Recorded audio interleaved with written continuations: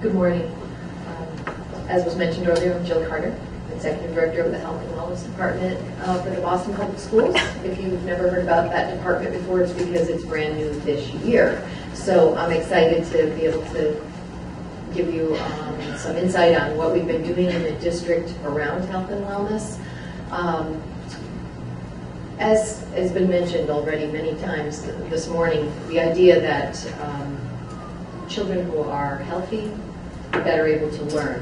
Uh, That's, everyone in this room believes that. We at the district level have been trying to align our efforts around health and wellness with the academic achievement um, work that's going on with the superintendent's acceleration agenda and with some other sort of jargon that you may have heard of, uh, the academic achievement framework. So really trying to um, look at what are the issues with students and then what are their, what are their health issues and then what are their academic needs. Um, just I- just want to start with just a brief story for for me about a story that I heard um, that really brought together this piece that we're talking a lot about. How is health and academics linked, and why is it so important that we have this work coming together? Uh, one day, I was uh, about two years ago, maybe I was driving to work, um, listening to um, NPR, and they were interviewing Boston Public School students about why they were dropping out, or what were the things that led them to consider dropping out. And there was a young boy, a ninth grader um, from one of our schools, um, being interviewed, and I wasn't expecting to hear this, and I have to say it really touched me and sort of, you know, made me want to work even harder at what we were doing. Um, he uh, was talking about the fact that when he was in third grade um, at elementary school, he was overweight, and how he started to get bullied um, as early as third grade, and how that made him really not want to go to school. Um, by fifth grade, he started sort of pushing back and fighting back because the bullying was only getting worse, not getting better. And then by middle school, he started getting suspended for fighting because now it wasn't just pushing, you know, just uh, language, but he was actually getting physical about it. And then when he got suspended, he was then, of course, missing out on some school classes, and he started getting behind academically. And needless to say, it was spiraling. And now he was a ninth grader, and he was very far behind, and he was not wanting to repeat ninth grade, and he was thinking maybe he should drop out. Now, that's just one story, and that's just one health health issue, physical issue that connected with the mental, emotional, social emotional piece. But I think probably all of you have had experiences in schools where you could you can probably come up with some other stories where you know that this is the case. Um, because we have a lot of health issues um, and we have academic achievement gaps, we, we know there are health disparities, we know these are achievement gaps, there's an overlap there, and we must address those two things together.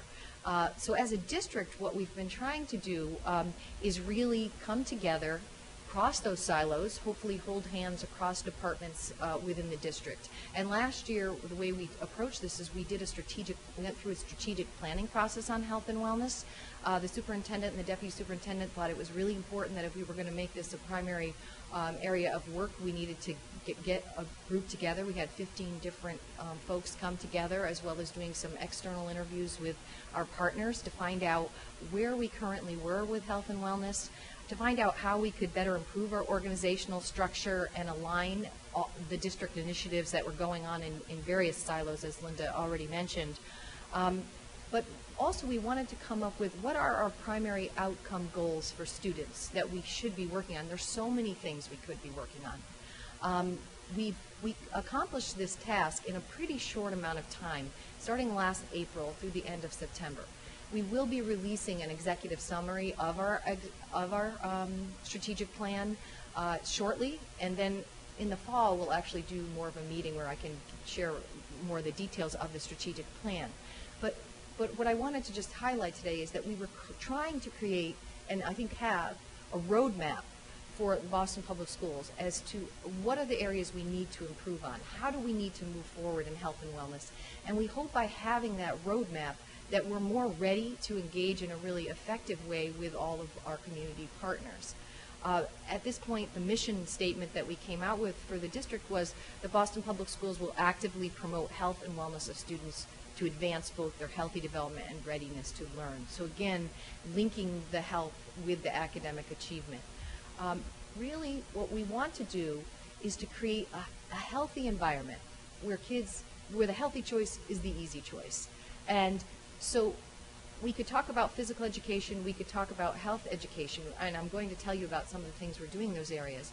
But if we, if we just teach children what it is they're supposed to do, what healthy choices they should make, but then they don't have an environment where they can choose those things, um, then we're really not supporting their learning in the way that we should. So we're trying to think again about the he- teaching of healthy um, choices, but the environment. And just to give you an example, so um, you know if many years ago, probably 12 years ago, I started working with this with schools, with actually with teachers and training them on curriculum.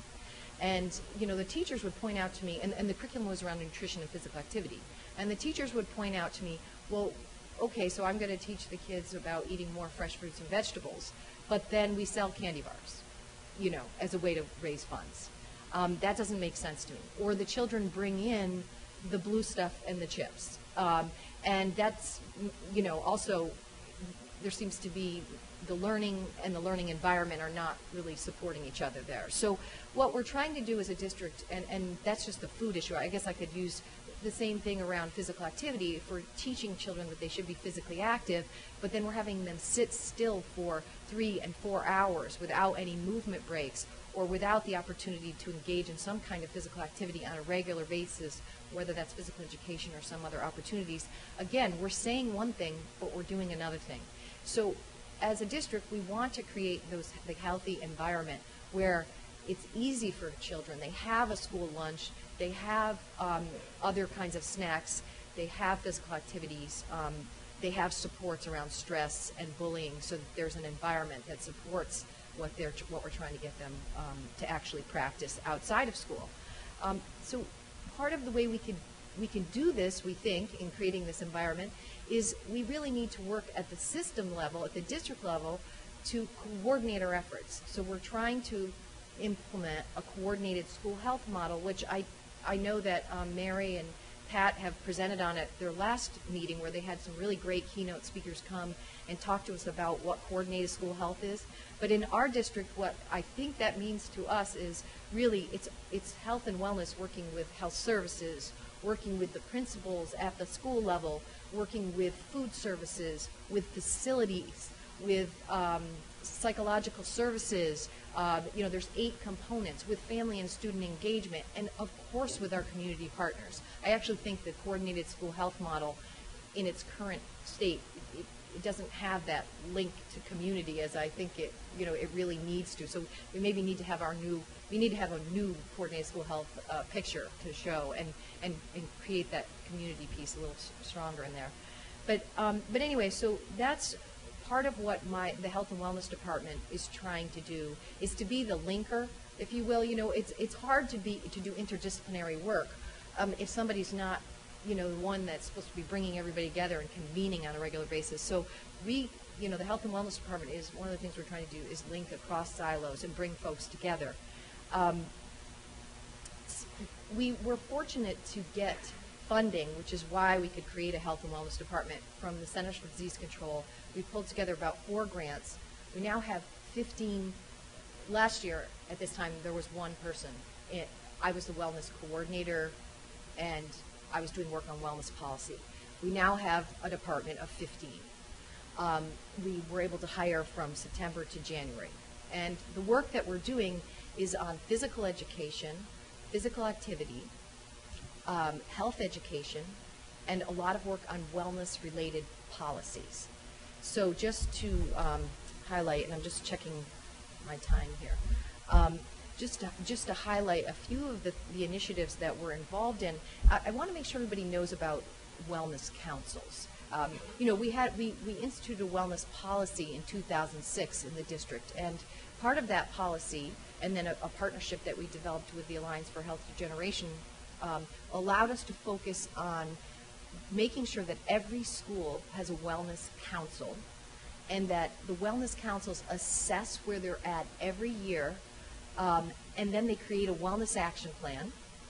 And the wellness action plan is part of the whole school improvement plan. And most of you, if you're working with schools, probably know the whole school improvement plan, or the WISIP, if you get into our abbreviations, um, is the roadmap for for whole school improvement, just like the title says. So the schools are trying to think about how do they, what do they have to do across math, science, language arts, wellness, and family and student engagement.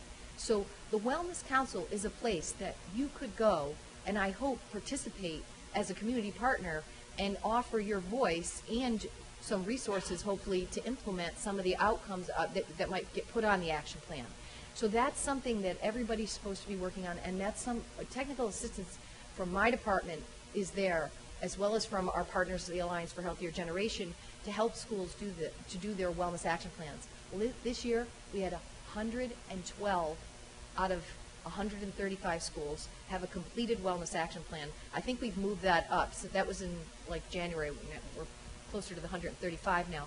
But that's really phenomenal, because if you know, as you know, there's, there's such a variety of things going on in our schools, and the fact that they're all buying in and creating that plan means there's a place for all of the community partners as well as the district to support them in the work they're doing. And I would just say one example of how we're trying to cross silos, if you will. We've created a wellness action planning team where district level departments come together, look at those action plans, and try to figure out what schools want, what they need help with across, so we're bringing the departments together to look at that. So that's just one example. Um, just uh, two other initiative pieces I want to mention. We're really focused a lot of our work on improving the physical education right now and the physical activity. What we're trying to do is to to really create a comprehensive physical activity program across schools, with physical education being a cornerstone of that physical activity program. So right now we have three, well, four instructional coaches for physical education that go in and actually work with physical education teachers to try to implement K to eight a Spark curriculum, the- Spark K to eight curriculum.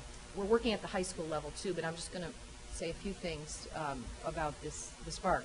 What we really want to do is increase moderate to vigorous physical activity in children and focus on lifelong physical activity skills. So get away from just the old sports-based and more into the fitness world. Uh, we had we we were trying to do 40 schools in two years.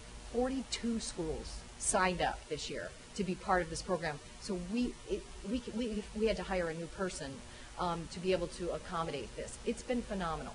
We're also measuring fitness in grades four through nine across the district, and we plan to. Right now, we're rolling it out as four, seven, and nine. Um, so this is where we send teams out to support PE teachers to actually collect fitness assessment data. So these are some of the things we're doing. One last piece, we, we are working on our health education frameworks as well. For the first time in many years, we have a health education program director, and we have lots of community input on our, our Pat's on our advisory um, board on that. Um, one key piece that I hope you'll go back and ask your schools that you're working with, do you have a wellness champion in those schools? We are stipending 100 wellness champions this year in 50 schools. Next year it'll be 200 in 100 schools. The wellness champion I see as a link between, um, it, it's someone that can be on the wellness council, that can interact with our department and get training, but can also be somebody there in the schools that that champion. So if you're working individually with schools, find out if they have a wellness champion or talk to us and we can tell you. I think my time is, is, is up, so I should pass the mic. But thank you for